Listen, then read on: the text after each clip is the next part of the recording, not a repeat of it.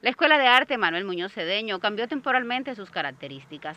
Se extraña la alegría contagiosa de sus aulas y pasillos, las notas musicales que inundaban cada rincón. Solo que la quietud de estos meses está marcada por el bienestar de saberse útil en momentos complejos. Aquí, desde marzo anterior, laboran profesores de música, danza y teatro, así como auxiliares de limpieza, cocineros y técnicos de mantenimiento, en la atención a pacientes sospechosos de padecer COVID-19. Eh, el hecho de, haber aportado, el hecho de estar involucrado en algo que, que está ayudando a nuestro pueblo a salir de esto, pues es algo bueno, ¿no?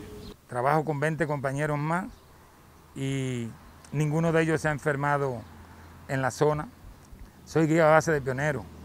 Yo pienso que la actitud más digna mía era enfrentar la tarea, porque ¿sabe lo que significa cuando mis pioneros se enteraran que yo diera un paso atrás? ¿Qué iban a decir del guía?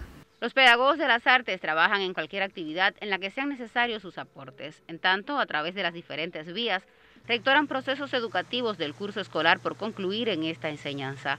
Y la prioridad ahora es ayudar efectivamente a la sociedad en lo que podemos, dejar también de un lado los miedos, porque somos seres humanos, tenemos hijos y también tememos, pero el pensamiento profundo, la sensibilidad también que, tenemos eh, los seres humanos y sobre todo los artistas, pues nos lleva a saber que mientras más aportemos y ayudemos en esta pandemia arrasadora, pues creo que los resultados van a ser mejor, ¿no?